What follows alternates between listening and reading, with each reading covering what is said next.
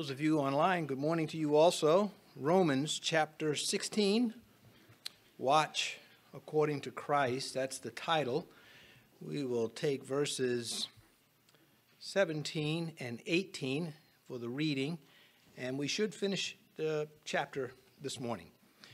Would you stand for the reading of God's word? And those of you online, if you are able to stand, why don't you stand with us as we read verses 17 and 18. now I urge you, brethren, note those who cause divisions and offenses, contrary to the doctrine which you learned, and avoid them. For those who are such do not serve our Lord Jesus Christ, but their own belly, and by smooth words and flattering speech deceive the hearts of the simple. Please be seated. Well, that's why the title has in it Watch. We'll get to the according part, not the accordion, but the according parts at verses 25 and 26. So we'll use the 17th verse as our starting point. No need to introduce this. Uh, it will speak for itself. Again, verse 17 Now I urge you, brethren, note those who cause divisions and offenses contrary to the doctrine which you learned and avoid them.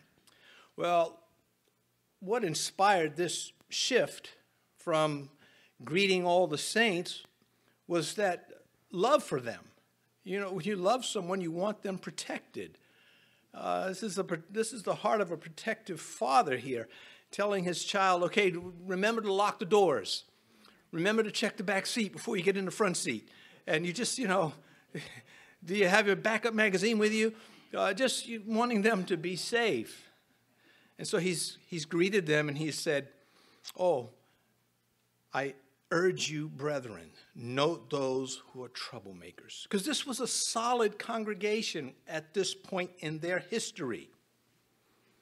You look at Rome today and you ask yourself, how long did it take before Christianity in Rome fell victim to the papacy? By the seventh century, this church allowed the darkness of the papacy to come in. The church was hijacked long before the papacy got there, a sin from which she has never recovered and never will. And so the warning is uh, very serious, very important.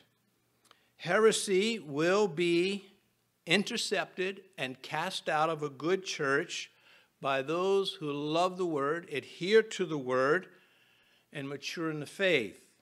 A brief look at Ephesians chapter 4, verse 14, a familiar verse. We should no longer be children tossed to and fro, carried about with every wind of doctrine by the trickery of men, in the cunning craftiness of deceitful plotting. Well, that goes on in religion. It tries to ruin everything. Paul wrote to Titus, holding fast the faithful word as he has been taught, that he may be able by sound doctrine both to exhort and convict those who contradict. And so he says, I urge you, brethren, note those who cause division, troublemakers, or self impressed churchgoers when they show up in the church. That Greek word for offenses, we translate it it is translated offenses in the New King James. It is elsewhere translated stumbling block. These folks are booby traps, and that's what he's saying. Now, you look at the troublemakers that come into a church, and I didn't choose this topic this morning. It's right here, and it's a very important topic. There have been many episodes of this within my many years of ministry. You would think that they knew the Bible but they don't, or they don't care what it has to say. Listen to Proverbs chapter 6, verses 14, 16, and 19. Solomon says, Perversity is in his heart. He deceives, he devises evil continually. He sows discord. These six things Yahweh hates. Yes, seven are an abomination to him a false witness who speaks lies, and one who sows discord among brethren. It's not hard to avoid doing this, But there are those who do not avoid, and there are victims that fall for it.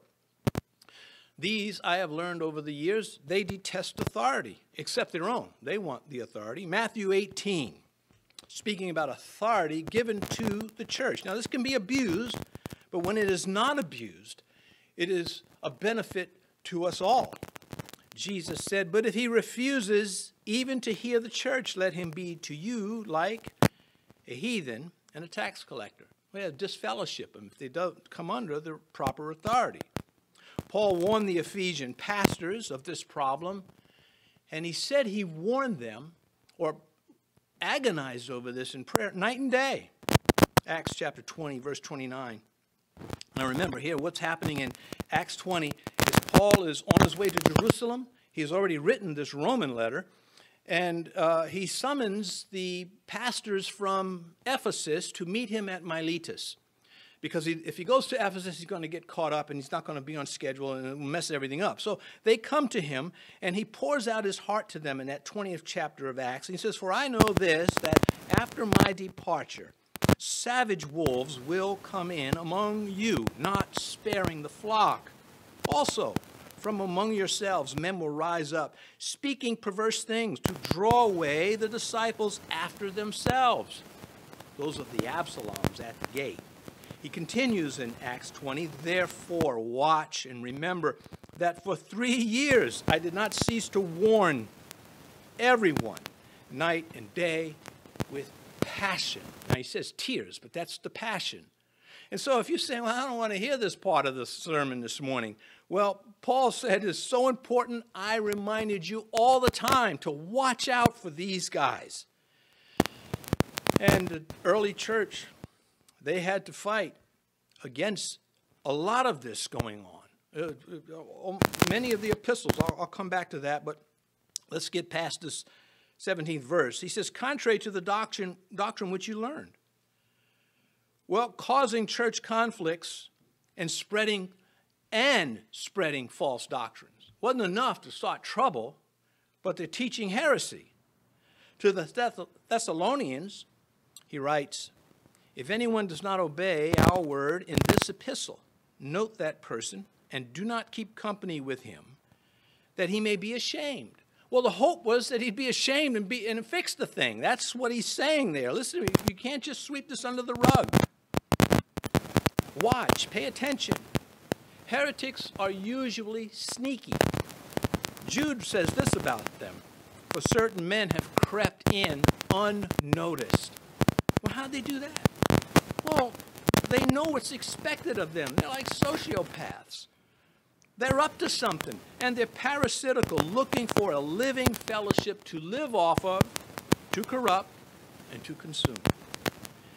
That will explain what's happening with the seven churches, or at least some of them, in the book of Revelation that Jesus addressed. For example, Pergamos and Thyatira.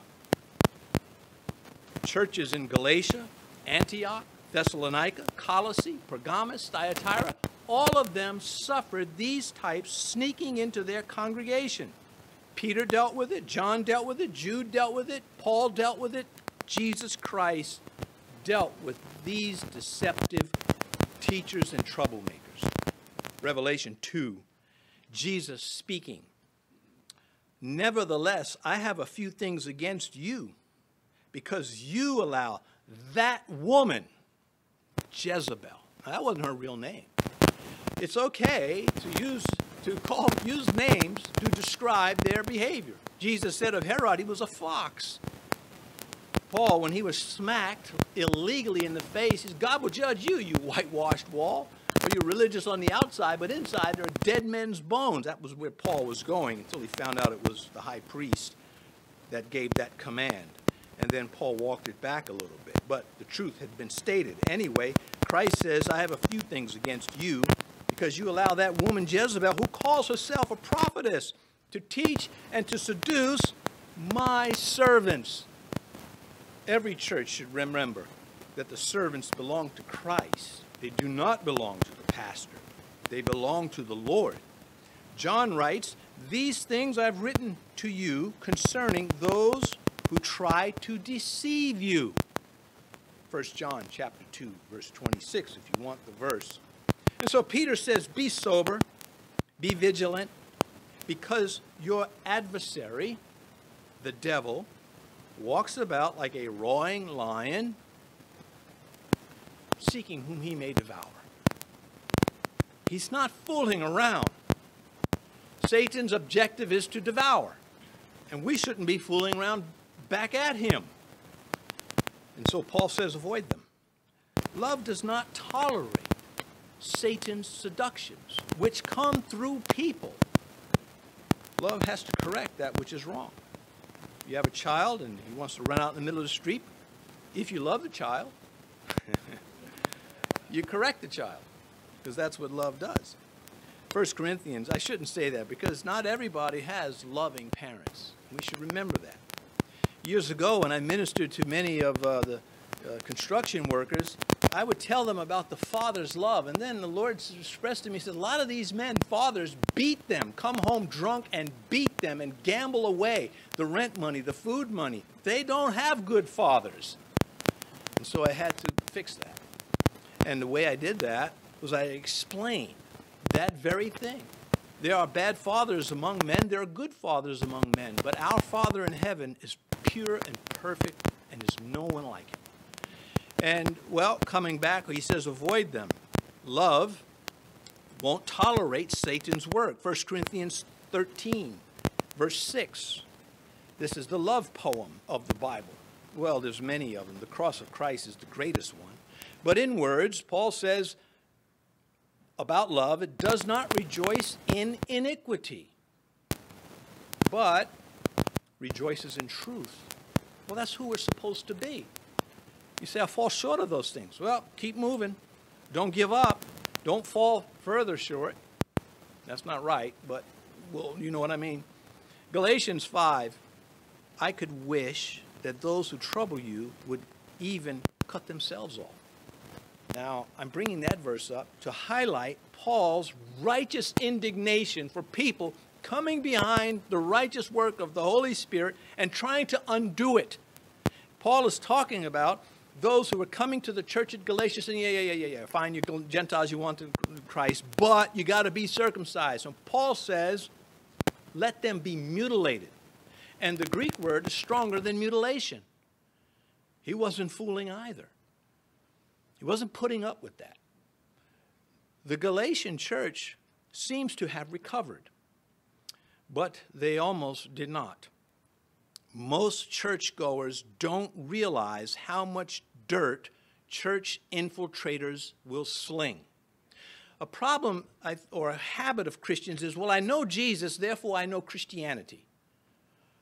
Uh, maybe not. How do you learn about the assembly? Not just by showing up. You've got to be involved to learn what goes on, and there are levels of learning about the things that Christians do behind the back of other Christians in the Christian assembly. Because the slinger appears caring and mature, and the victims are undiscerning and immature, that's where the sheep begin to suffer. 2 Timothy 3. Paul says about these types having a form of godliness, but denying its power. And from such people, turn away. This fellowship is part of Christianity. It's a, it's a self correcting mechanism Christ has built into the church. If a church is trying to grow its numbers, it won't use the self correcting mechanism. If the church is trying to obey Christ, they will. And that's what he wants. Christ builds the church, says the Bible. And the Lord added daily such to the, and the Lord added daily to the church such as were being saved, it says in Acts chapter 2. To Titus again, he writes, reject the of man after the first and second admonition. Don't keep playing this game. If he is divisive, he'll take out the flock. Deal with it. Do you recognize that at this very moment you are getting doctrine? Do you understand? This is a Bible teaching church. I would be bad mouthing the work of the Holy Spirit if I said, Well, I'm not a worthy teacher. Well, my opinion is that, but that evidently is not his opinion. And uh, that is the truth with all Bible teaching pastors.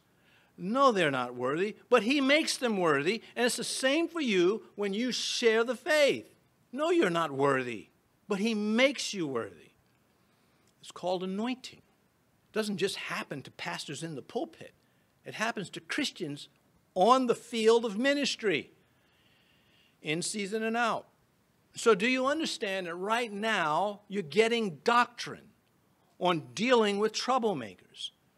Thus, the many quotations of Scripture and the background that goes with it. In verse, six, in verse 18, he says, For those who are such do not serve our Lord Jesus Christ, but their own belly, and by smooth words and flattering speech deceive the hearts of the simple. He says they're not Christians. They don't serve the Lord Jesus Christ. Well, I cannot pray with a lot of people. I can pray for anyone, but I can't pray with anyone. So if a uh, Muslim said, let's pray together, no, I can't. I can pray that you convert to Christianity, but I cannot pray with you. We don't have the same God. We're not talking to the same God. An ecumenicist who believes you can pray with anybody, all roads lead to heaven. I can't pray with that one the Mormons, the Jehovah Witnesses, the Christian Scientists, the Unitarians. They're not Christians. I can pray, believe it or not, with Calvinists. I can pray with the Baptists, with the Presbyterians. I can pray with those who hold to the fundamental truths of the Christian faith as taught in the Scripture. But I cannot pray with anyone, and neither should you. The ones you can't pray with, you should be preaching to, looking to correct. Do you think Elijah said, hey, let's all pray with the prophets of Baal? These guys are passionate. He called fire down on them. Uh, well, he didn't, uh, wasn't fire, but he called swords on them, and that's what happened. Well, coming back to this, he says, but their own belly. Well, he's describing parasites, opportunists, narcissists. There's a lot of words we have for people who do this, who are all about their agenda even when it's not their place to have an agenda at any cost to you. They exist. The scripture says, hey, face this. Don't, don't, don't run away from it. You have to deal with this. It'll be all right. I'll be with you through the whole thing. When Paul is writing this, don't you know the pains that were going through his heart? The people he had to deal with who double crossed him and the ministries and the work that he did? This wasn't all just righteous indignation, there was righteous pain too, standing up to people you love who are wrong, who are harmful. He says about these that by smooth words and flattering speech deceive the hearts of the simple. Who are the simple? Simple Simon met a pieman. Let me taste your wares. Anyway, said the pieman to Simple Simon, Let me see your penny. Indeed, I don't have any. Anyway, the pieman was shrewd enough to bust him. I worked that into the same sermon. Anyway, coming back to this, their own belly, their own agenda.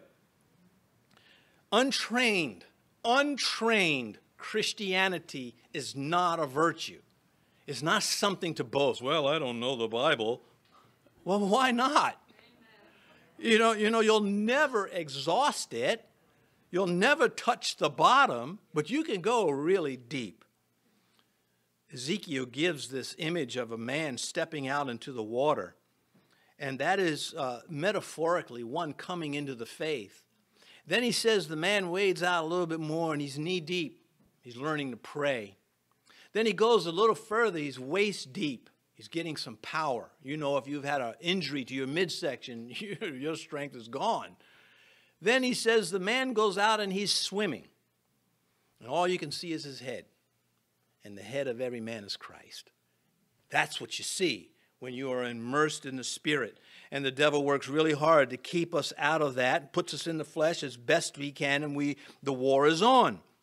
Sociopaths, disregarding the rights and feelings of others so they can get what they want. They can fill their own belly, he is saying about them. Psalm 55 David knew these types. He speaks about one of them. We're not sure who. It might have been Absalom. He says the words of his mouth were smoother than butter, but war was in his heart. His words were softer than oil, yet they were drawn swords, unsheathed, ready to do damage, unholstered. In verse 19 now, he turns back to them, having this outburst of a father's care. You know, watch yourself, watch these guys. I don't want this to happen to you. I'm dealing with it in Corinth. I don't want to deal with it in Rome. In verse 19, he says, For your obedience has become known to all. Therefore, I am glad on your behalf, but I want you to be wise in what is good and simple concerning evil. Presently, when he wrote, when he, the time he wrote this, this and other churches had their act together. A church can have its act together. A church can be doing the right things. First Thessalonians, he says the same thing about them. He says, For from you the word of the Lord has sounded forth, not only in Macedonia and Achaia, but also in every place. Your faith toward God has gone out so that we do not need to say anything. I mean, this, this, this was a fledgling church when Paul was forced out of it and they continued to grow. He did not abandon them. He sent Timothy and others back to them to work there, but which he was wont to do. He did this often. Well, I don't know, do people really think that they are pleasing God when they decide disobedience to God is insignificance? Do they really think that somehow God is delighted about that? Well, that's a double edged sword in this way if you have someone who is being disobedient, to deal with them, you cannot be loveless. You cannot be a brute. You have to be firm, but you have to uh, not uh, hold them in contempt.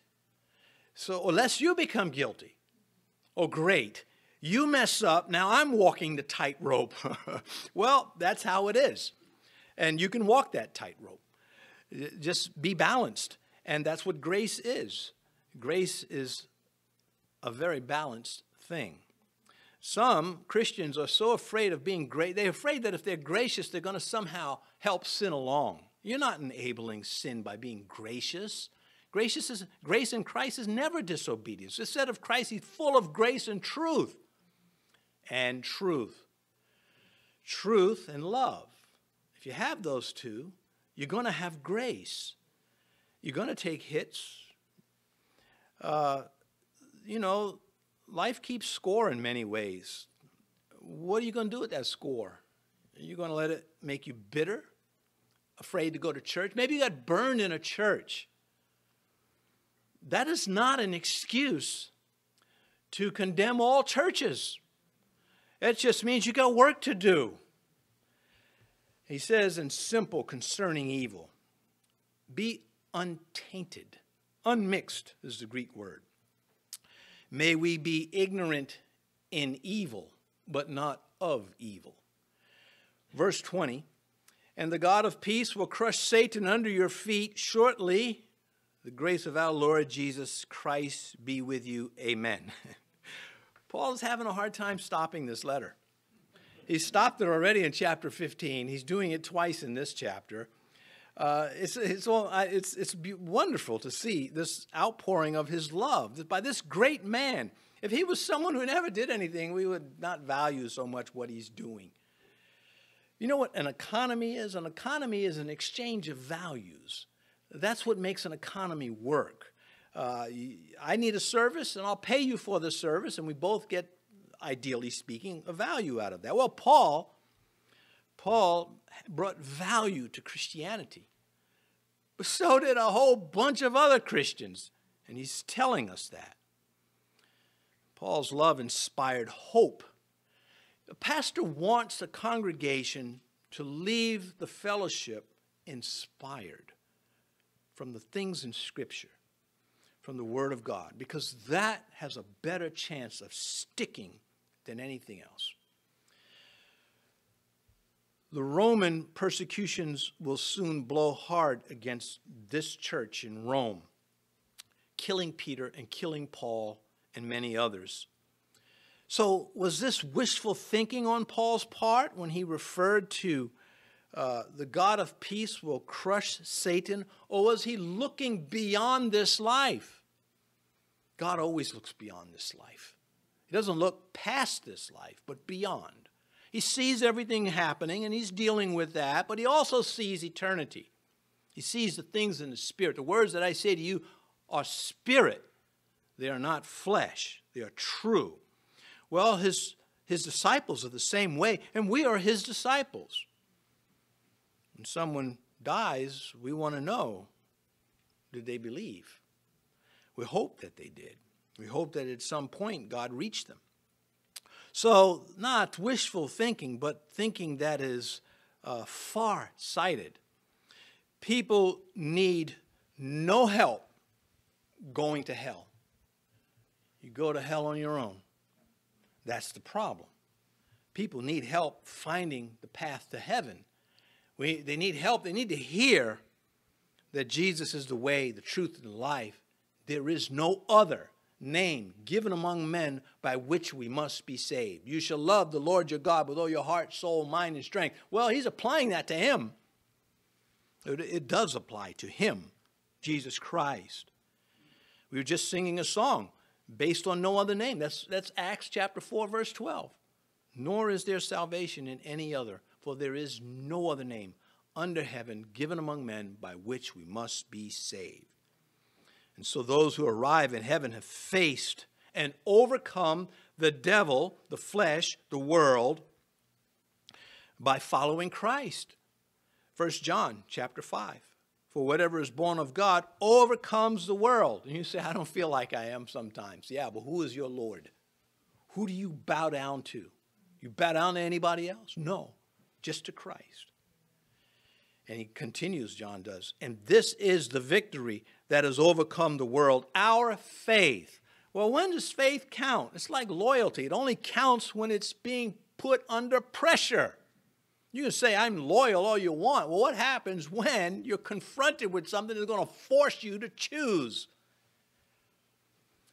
No matter what's going on in your life, no matter how you feel Christ is not doing enough for you, and if you stick around Christianity and you work for the Lord, you're going to have those moments.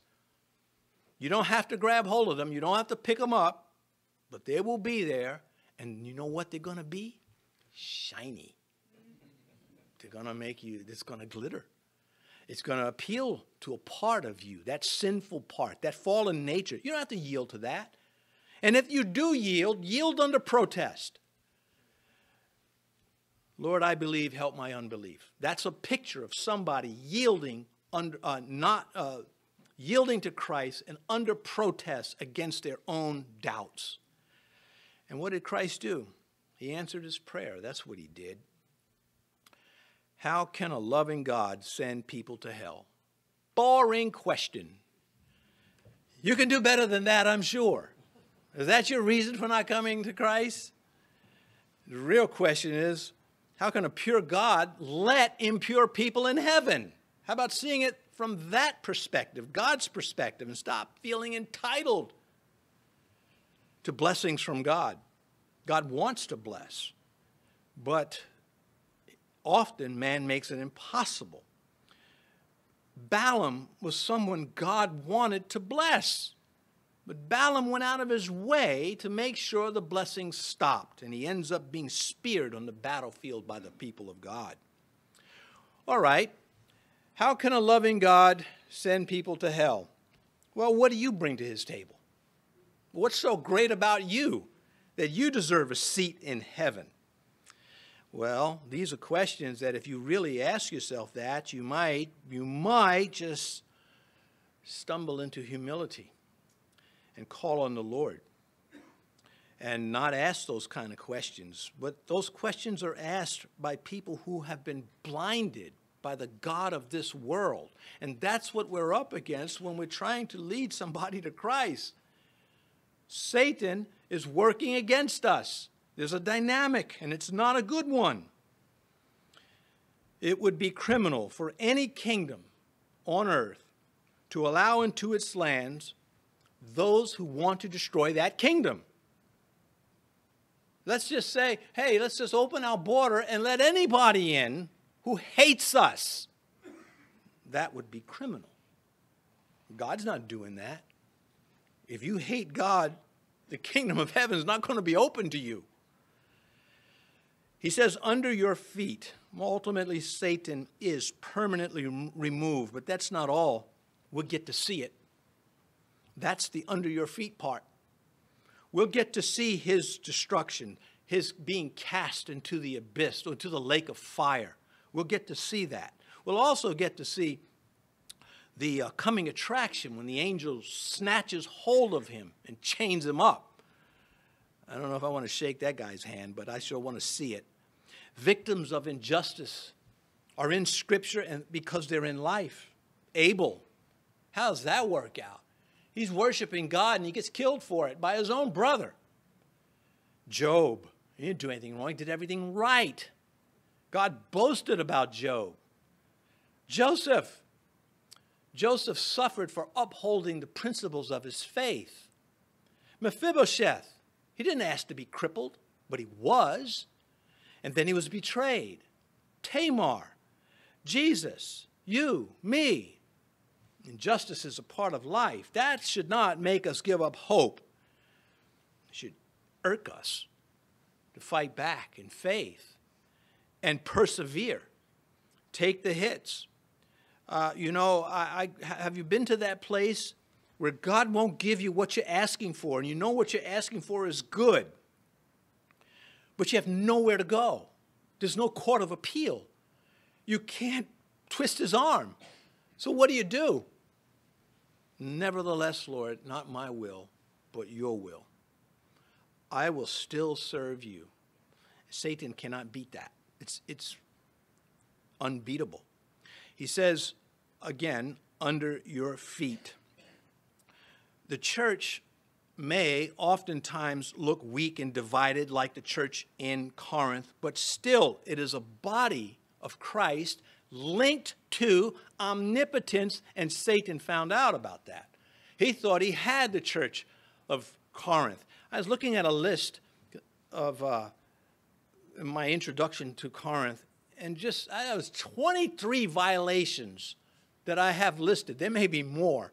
Everything from lawsuits against each other to carnality to sexual, I mean, just all over the place.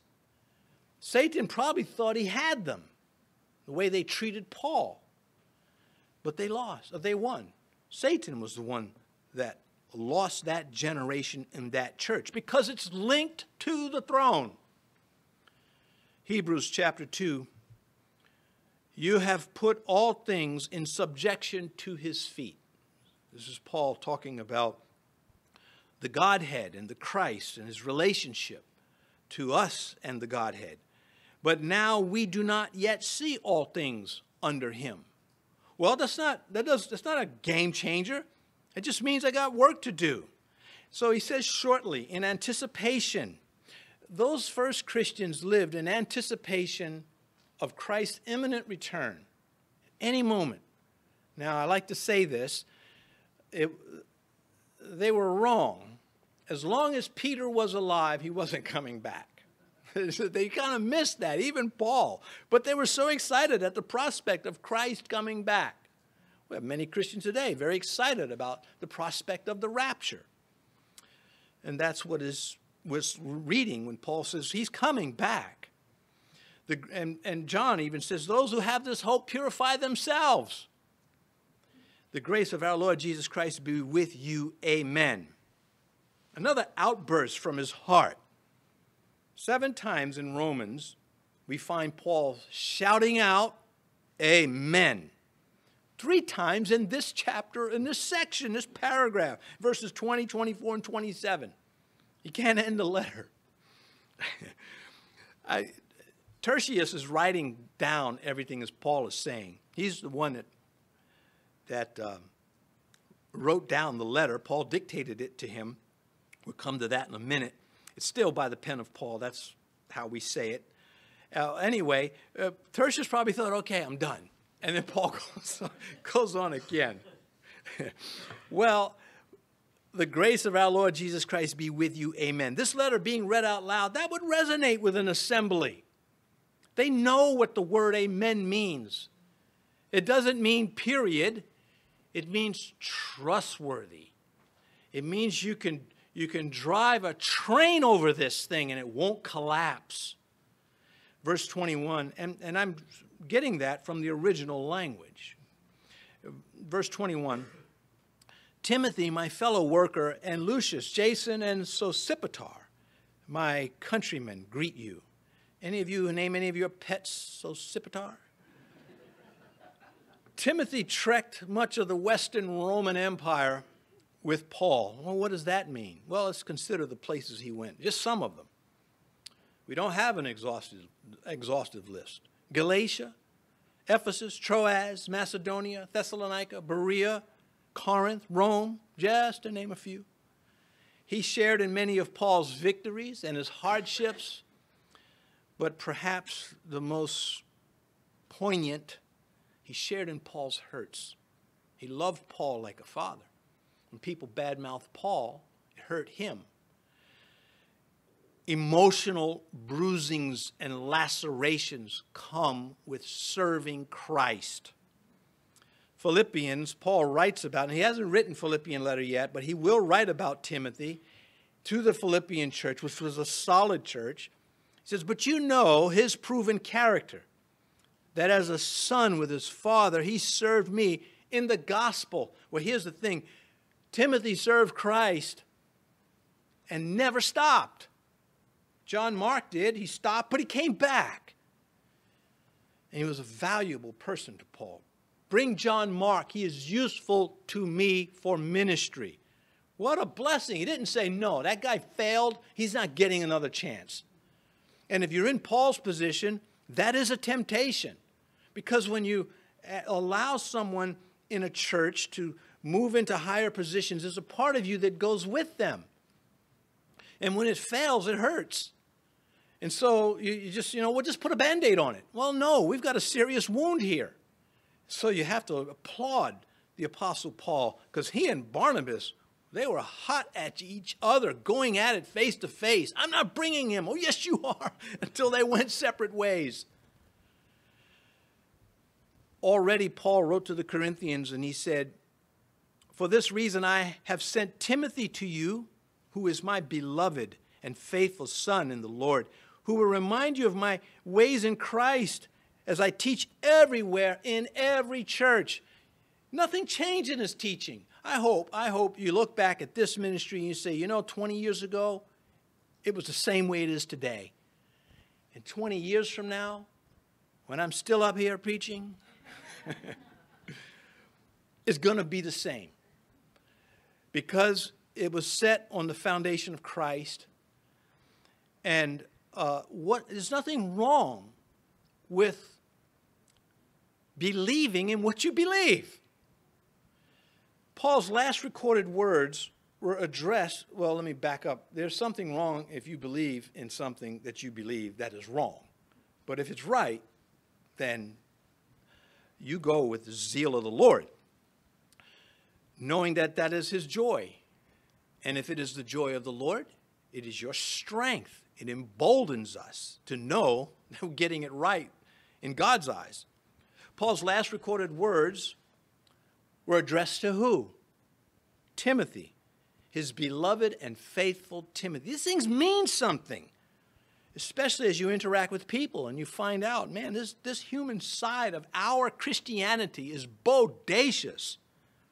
And Lucius, Jason, Sosipater, my countrymen greet you. Here's a short list of the faithful ones in Corinth. Not everybody in Corinth was a pain in the neck. A lot of them were great. That problematic church had good people. And it is from where Paul is writing this letter. So, a brief review of the eight good names that are with him Timothy, Lucius, Jason, Sosipater, Gaius, Erastus, Tertius, Quartus. Those two are probably slaves. And we can't forget Phoebe, because at the time he's writing this, she's still there. She's the one that took the letter to Rome.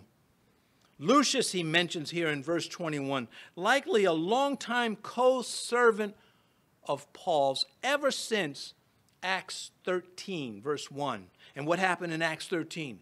Separate to me Paul and Barnabas for the work of ministry, and they sent them out. I have a pastor friend who years ago we were somewhere, and obviously we're always somewhere, and uh, he said he, he, we were talking about his assistant, and he, he just matter of factly inserted into it, and he's been with me for 18 years. Because that pastor knew how hard it is to have good people stick with you through the years. The pastor's role is not to give good people a reason to leave. The pastor's role is to follow the Lord. And uh, I just, I always remember that because I know the value I know what that meant to that pastor when he said that. I know the hurt that he had been through. Well, verse 22 I, Tertius, who wrote this epistle, greet you in the Lord. Now, Tertius was the amanuensis. That's the guy that wrote this down. In fact, the word uh, amanuensis, or as, as Paul uses, not amanuensis, that means something else. Same thing, different origin of the word. Tertius, who wrote, the Greek word for wrote is grapho, where we get our English word graphics. This is a fun fact. Uh, so we can hear Paul say to Tertius, make sure you let them know you're writing this. Uh, the Holy Spirit's the author. Through the experiences of Paul, Tertius is the scribe, and a very valuable one. And Paul was very grateful for this. And so Tertius takes the time to say, I wrote this. He, he, we'll get to why he, I believe he's a slave, but he would not have done that without Paul eh, allowing it. And I believe initiating it. So we say from the pen of Paul because these are Paul's words. And it is proper to say that. Uh, that's what we mean. The writers of all our scripture were human. And sometimes they use an amanuensis, an assistant. That's what that word means. You can, I'll give you a few verses if you want to just see a few of them. 2 Samuel 23, verse 2, Isaiah 59, 21, Hebrews 12, 2, um, the author and finisher of our faith.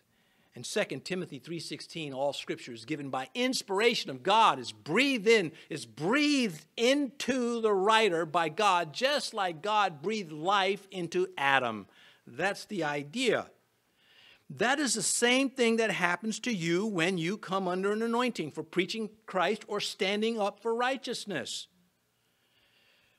There is some evidence that Paul at this time in his ministry was afflicted by an eye condition, perhaps contracted on his first missionary journey. And that's believed that he had a damaged eyesight because of what is written in Acts 23 when he didn't know that who slapped him and thought it was, he, did, he didn't know it was the high priest. Why not? He, he can see him.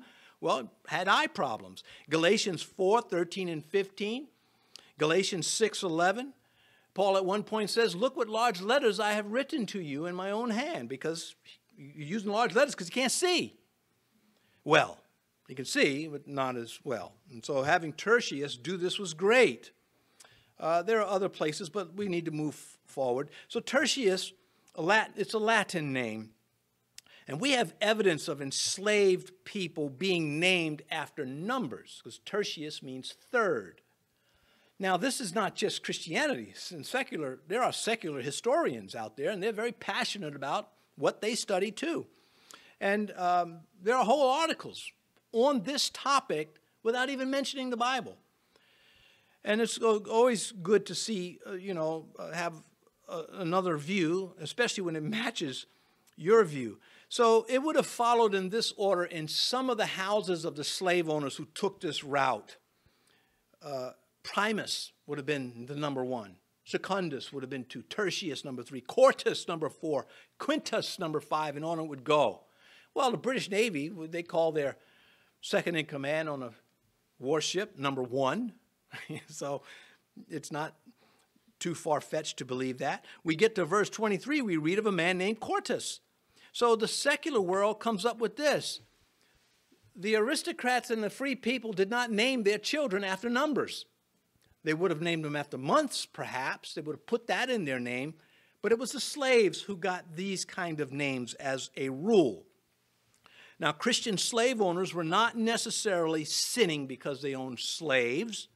In many cases, the slaves wanted to remain with them. Thus, we have, whenever you see bond servant in the scripture, you're seeing the translators say, this is a slave who wants to be enslaved to this master. And it comes from the Old Testament when, you, when the slave was set free and says, I don't want to go free, I want to stay here a servant. And they take his, put a hole in his ear and, and with an awl and say, okay, now you are a bond slave. But anytime the New Testament talks about servants, uh, well, not anytime, there's different words, but one of the main ones is slave.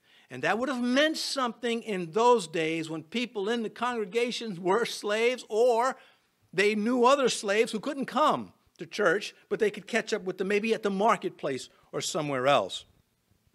I would also add, uh, you know, there's different types and levels of slavery. Sure, you know, what was human trafficking, there's no excuse for that. That's evil. But this is not what we're talking about. The slavery of the Civil War is not identical to the slavery that was in the ancient world and other places of the world. So if you have that stigmatism when it comes to uh, slavery, you might want to rethink it because many of those who were slaves were very grateful for the life they had. Uh, as slaves, verse 23 Gaius, my host, and the host of the whole church greets you. Erastus, the treasurer of the city, greets you. And Quartus, a brother so he was black. That's funny. He was, I don't, he may have been, I mean, but he's a brother, you know, anyway. Ah, I just thought of that one. So I hope there's nobody here saying, that ain't funny. It's a, it is funny. Lighten up. Life's got bigger problems than that for you. Well, the Gaius, this is likely not the Gaius of Third John that John the Apostle wrote to is a common name. This Gaius is a well, likely a wealthy slave owner. We say that because Paul is living with him and the church is meeting in his house. And those are clues, big clues. There are those who have interpolated, that means added to, the, man, the manuscripts, names for Gaius I don't think they've got any grounds for it, so I'm not going to repeat the names. But if you have those translations and you see that they've substituted a name or maybe you've got a study Bible and they say, well, his name was really Justus Gaius, you know, this and that. Ah, maybe not. I'll go with Gaius. A very happy word.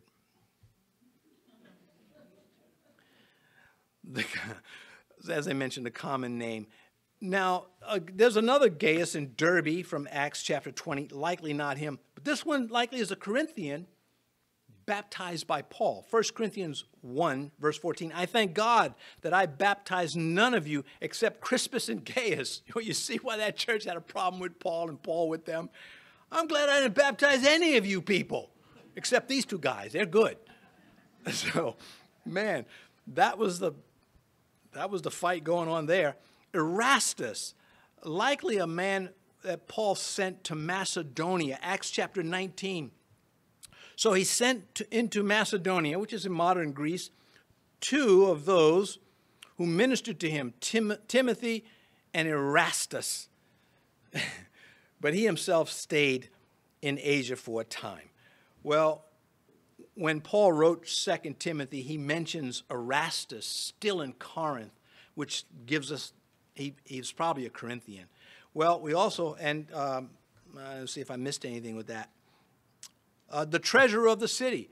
So when Paul said, if you look at the faith, there aren't many wise. He didn't say there were none. There weren't many of prestige. There are some, and Erastus would have been, been one. That's a big position. He's not a slave. But Quartus, uh, as meaning number four, likely was in the house of Gaius along with Tertius. Well, what happened to Primus and Segunda, uh, Secundus? Uh, they, prob- they may not have been believers. That's probably why. Verse 24 now. The grace of our Lord Jesus Christ be with you all. Amen. okay. So Tertius says, okay, we're done. and then Paul goes on to say, now to him who is able to establish you according to my gospel and the preaching of Jesus Christ, according to the revelation of the mystery kept secret since the world began. Verse 26 And now made manifest by the prophetic scriptures made known to all nations, here it is again, according to the commandment of the everlasting God for obedience to the faith. So obedience counts. So, what is going on here? Well, we're established before God through, through Christ. We have peace with Him, Romans 5 1. But He is, um, that word according here means in agreement with, it means in harmony, it means attached to. So, watch, church, be careful of those who are deceptive according to your understanding of Scripture. That's how it all ties together.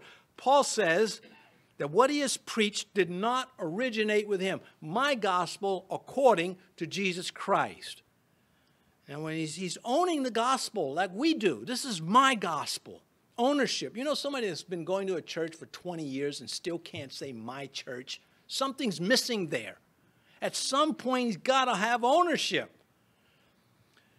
So, when Paul says, according to my gospel and the preaching of Jesus Christ, according to the revelation of the mystery. The preaching of Christ was consistent with the preaching of the prophets, according to the commandment of the everlasting God for obedience, because the preaching of the prophets originated with God, who's Christ in the flesh.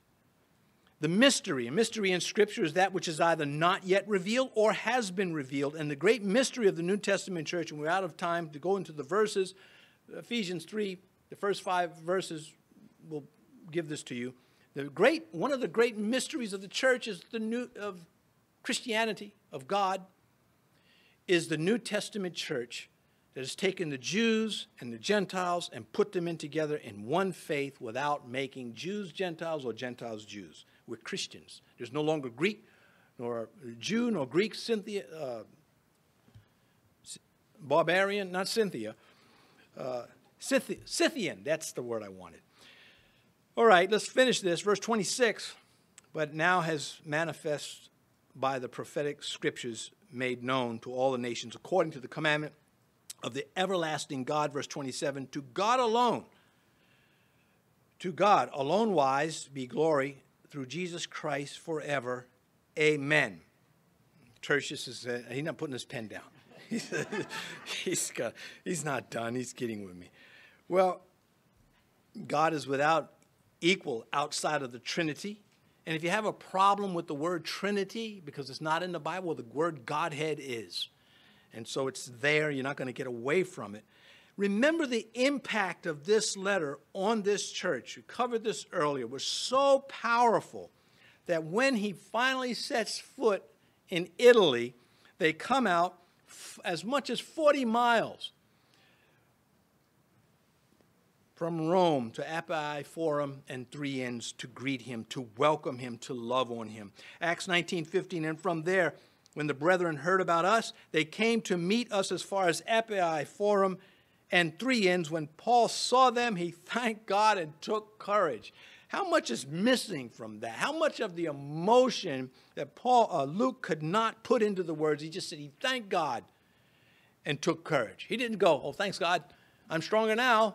That was emotional. Christ died. That is history. Christ died for me. That is salvation. Let's pray. Our Father in heaven, just fantastic scripture. May it, uh, may it take root. May it work more in our own walk with you to bring you glory. We pray, Lord, if anyone has been listening, watching, if they've not named you as Lord and Savior, that now maybe they can see from your word how trustworthy and meaningful it is, how precious is the faith that you've made available for sinners. If you're watching online or listening, or if you're here in the church and you've never opened your heart to Christ, you're being played like a fiddle by a very real devil. And you have a very real Savior reaching out to you and saying to you, Come to me. I'll deal with your sin, but I need you to come to me. You have a chance to do that right now, or you can stay stuck in your sin. It's up to you. If you say, Lord Jesus, I am a sinner, I ask you to forgive me. There's no one else who died for me, there's no one else strong enough to take away my guilt. I come to you, and from this day forward, I ask that you would be not only the one that saves my soul from judgment, but the one that rules over my life. I give my life to you right here, right now. And now, Father, if anyone has made this prayer this morning, let them not be ashamed of their confession, but may they, Lord, step forward when invited and make their faith known. We pray these things in Jesus' name. Amen.